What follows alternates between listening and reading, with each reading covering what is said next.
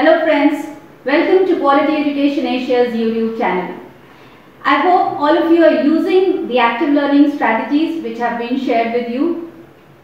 Today we are going to explore about the importance of reflection in teaching. In other words, we will understand the significance of reflective practice.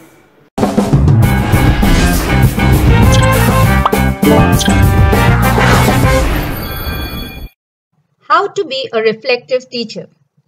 To understand this, we first need to know what is reflective practice.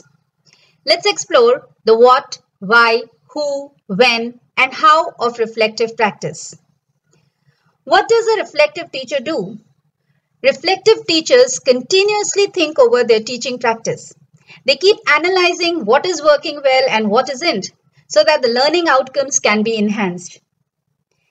Let's see the process of reflection. A reflective teacher teaches, then does the self-assessment, then considers what are the changes to be done, integrates those changes in the practice and teaches again. This way, the cycle continues. Why should we know about reflective practice? Let's see the benefits of reflective practice. It helps us to understand how students learn and what are the best ways to teach. We are able to identify what are the barriers to students learning. It also increases our skills of teaching as we learn new ways to teach. We start feeling more responsible for our students' progress. And finally, all this leads to the improvement in the quality of teaching and learning.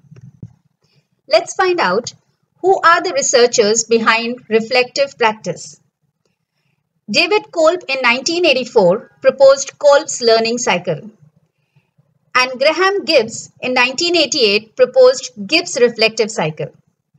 They have described in detail each step of reflection. In this video, I'm going to cover only the gist of what they have proposed. Before coming to the how, let's see when should reflection be done. You can do reflection in action. That is, while you're teaching. According to the students' responses, you can make quick and appropriate changes. Adjust your teaching in such a manner so that it caters to the students' needs. You can also do reflection on action, which means after teaching, ask yourself questions like, what went well in this lesson? What problems did I experience? How engaged and active were the students? How much learning took place and how do I know? What could I have done differently? What did I learn from this experience that will help me in future lessons? Answer to all these questions will help you improve your teaching further.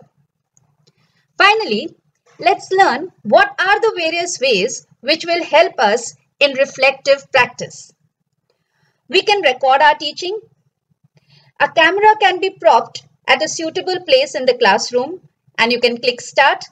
Watching your own recording is very insightful and you can analyze your skills of communication. You can see students' engagement. How well and efficiently did you manage resources? What was your movement in the class? And also, you would be able to notice a lot of students' dynamics. Another way is by collecting data from students' feedback. You can ask them questions like, what were the highlights of the class? What could you understand really well? What more can be done? Is there anything which can be improved? But remember, before asking these questions, you have to build an environment of trust. One more way is to invite a colleague to observe your class. Assure your colleague that you're looking for a critical feedback. The colleague may be able to tell a lot of things which we generally are not able to notice. Yet another way which helps in reflection is observing the class of an experienced colleague. This would be a huge learning experience in terms of identifying some best practices. You can also discuss your reflections with a mentor to get a way forward. Mentor will help you look deep into your problems and suggest workable solutions. Finally, do not forget to note down your reflections in the reflective journal as it will help you in analyzing your progressive journey as a teacher. Hope this video will help you reflect on your practice and put you on the path of continuous improvement. If you have any queries regarding reflective teaching or reflective learning, please put it in the comments box below and don't forget to share, like and subscribe this channel. Thank you so much.